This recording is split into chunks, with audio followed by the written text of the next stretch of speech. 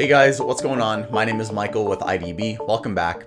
In this video, we have a quick one for you today, talking about everything you need to know leading up to what is, in my opinion, Apple's biggest, most exciting event of the year, and that is WWDC. So it's happening on Monday, June 6th at 10 a.m. Pacific time. So for your convenience in the description down below, I'll have a website which will convert this time into whatever time zone you are in so you know exactly when you can watch the event. In terms of the actual stream, you have two ways of watching it. Uh, number one is on Apple's website, so just go to apple.com and the stream will be front and center. And they're also going to be streaming it on their YouTube channel as well. So just go to youtube.com slash Apple and you'll find the stream on YouTube also. So in terms of what we can expect at this event, WWDC is always a software first event. So at this point, there are five things that we are guaranteed to be getting. iOS 16, iPadOS 16, Watch OS 9, macOS 13, and tvOS 16. So I know not many people are excited for tvOS, but the rest of the releases are going to be very exciting. So this is a last minute leak from Apple analyst Mark Gurman, and it looks like the iPad OS release this year is going to be one of the main focuses. So he mentions it's going to have a redesigned multitasking interface, which is going to make it easier to switch between apps and see which different tasks you're currently working on. So apparently, uh, he has connections to people who are working on the next version of iPad OS as they asked to be unidentified in this article. So it really looks like iPad OS is going to be uh, turning into more like a computer, as it's going to have a completely different multitasking interface, and we may possibly have the window functionality that many people have been wanting out of the iPad. Mark Gurman also mentions iOS 16 is going to be getting a few big updates. Uh, one of them is a completely redesigned lock screen, which is going to feature widgets. So this is kind of exciting. Uh, right now, I find the iOS 15 lock screen to be quite boring. Uh, one wish I have for the lock screen is the ability to change the quick toggles on the lock screen. Uh, I'd love to be able to change those. Uh, but right now, it just looks like we're going to get a, a, redesigned lock screen uh, with some widgets on them. And he also mentions there's going to be a refresh of the Health app, which I did mention in my previous iOS 16 leaks and rumors video.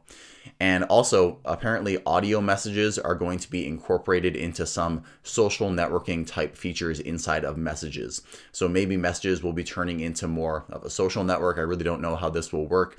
But uh, with people using iMessage and iPhone, uh, iMessage has already become kind of a club on its own. So I guess Apple expanding on this does make sense. And he also mentions for Apple Watch, we're going to get new watch faces. Obviously, we get new watch faces all the time. He mentions system navigation changes. So I don't know what this means.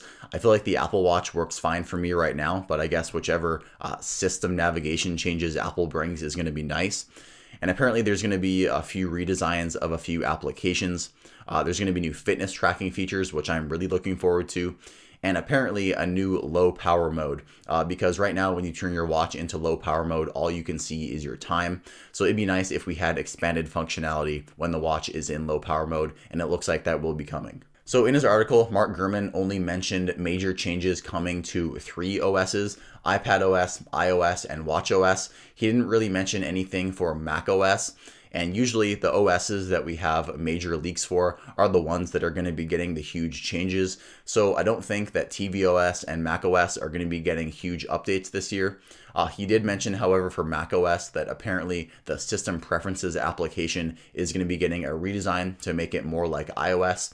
And also, just in my opinion, I think system preferences on the Mac should be renamed to settings. Uh, let me know in the comments what you think about that. So how can you get your hands on all of this software? Well, Apple offers a public beta software program. So if you head to beta.apple.com, you can actually sign up right now just by clicking that button. And then as soon as the public betas are available for everything new, like iOS 16 and iPadOS 16 and watchOS 9, you'll be able to install the public beta on your device. So just make sure you sign up here at beta.apple.com and you can install the public beta as soon as it is available, uh, usually a few weeks after the the event. So apart from all the software we just talked about, there have been a few leaks and rumors. There's there's been some mumblings about uh, possibly some hardware coming at this event, which would be kind of exciting. Uh, there have been some talks of a MacBook Air at this event. Uh, it could be possible. However, I don't think Apple would release a MacBook Air uh, just because this is a developer focused conference. And the last time that Apple unveiled hardware at a WWDC, it was more pro hardware because this is a developer conference. So they're probably going to be selling more pro style devices, more expensive devices. So releasing an entry level MacBook Air at this event just wouldn't make sense to me. I think it would make more sense for Apple to unveil their new uh, Apple Silicon Mac Pro. However, I guess we'll just have to wait and see. Uh, like I said, anything above all the software releases is just gravy because this is a software first event.